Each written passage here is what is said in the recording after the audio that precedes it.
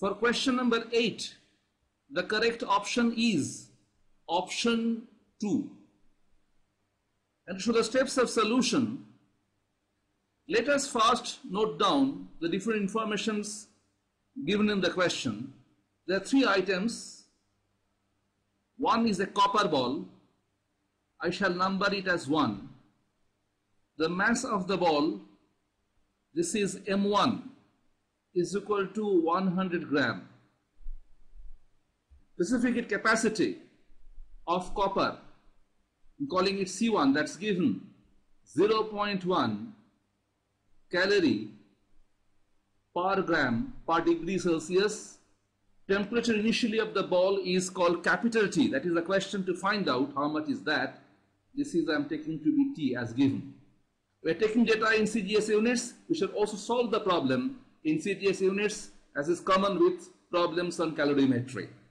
Next item is calorimeter. Let me call it, this is my first step I am doing. Steps of solution, this is the first step taking down the data carefully with proper symbols. Item number 2, the mass of calorimeter M2 that is also given to be 100 gram is made up of copper only. Specific capacity is C2 that is same as C1.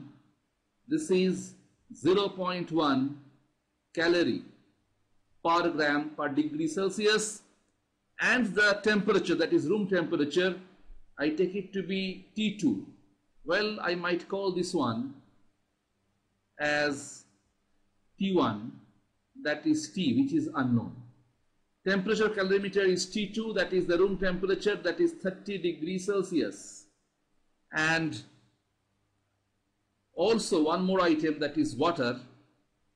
This is item number 3 and its mass M3 that is given to be 170 gram specific capacity of water that is C3 well known value 1.0 calorie per gram per degree Celsius and the temperature that is T3 this is same as T2 the room temperature that is 30 degrees Celsius. In addition to this you also given the final temperature of the system let me call that TF that is 75 degrees Celsius supposed to find out the initial temperature T of this copper ball.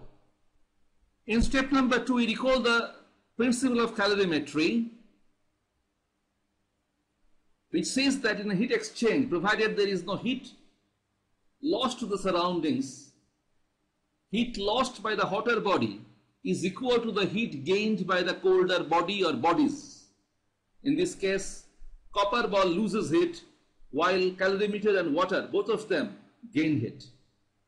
So, I'll be calling this equation as equation number 1 for future reference and keeping an eye on this equation, you can write down heat lost by copper ball, first in symbolic form.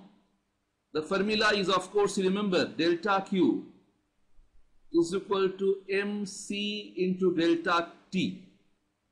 In this formula, delta Q is the heat that is exchanged, m is the mass, C specific heat capacity, delta T is the change in temperature. So heat lost by copper ball that will be in symbol M1 into C1 into T minus TF.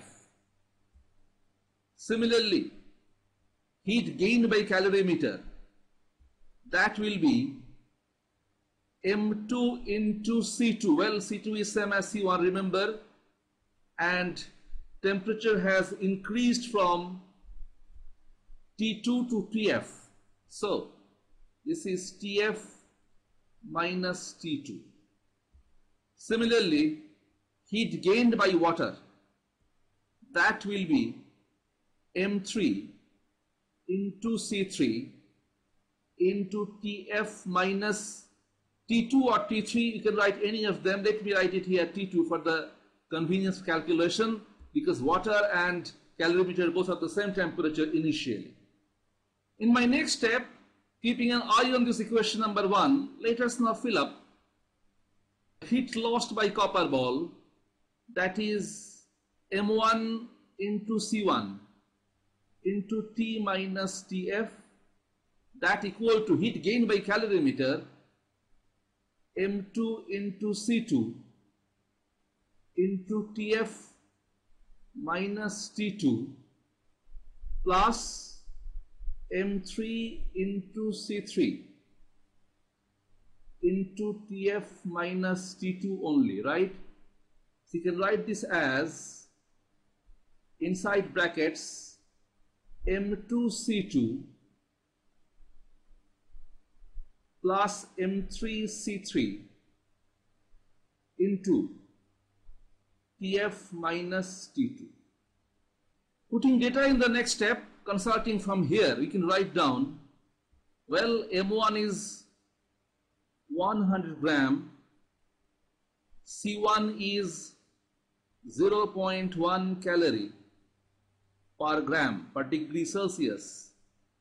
Capital T is unknown minus TF is 75 degree Celsius. Coming to right hand side, we shall pick this right hand side from here and that is giving me M2 that is 100 gram into C2 same as C1 that is 0.1 calorie per gram per degree Celsius plus M3 mass of water 170 gram. Multiplied by C3 that is 1.0 calorie per gram per degree Celsius. Square bracket closed multiplied by TF minus T2 TF is 75 degree Celsius. Minus T2 that is 30 degrees Celsius. The simple calculation and my suggestion is, although I have written everything in detail with the proper units, when you're in a hurry, I've got time is very valuable, there is no point writing so elaborately. Just put the numerical data, go for the calculation and show that eventually the value of T is coming out to be 885 degrees Celsius. I give this small job for you and once you get it, you realize that this is nothing but option number two and therefore our option, correct option is choose is option two in this question.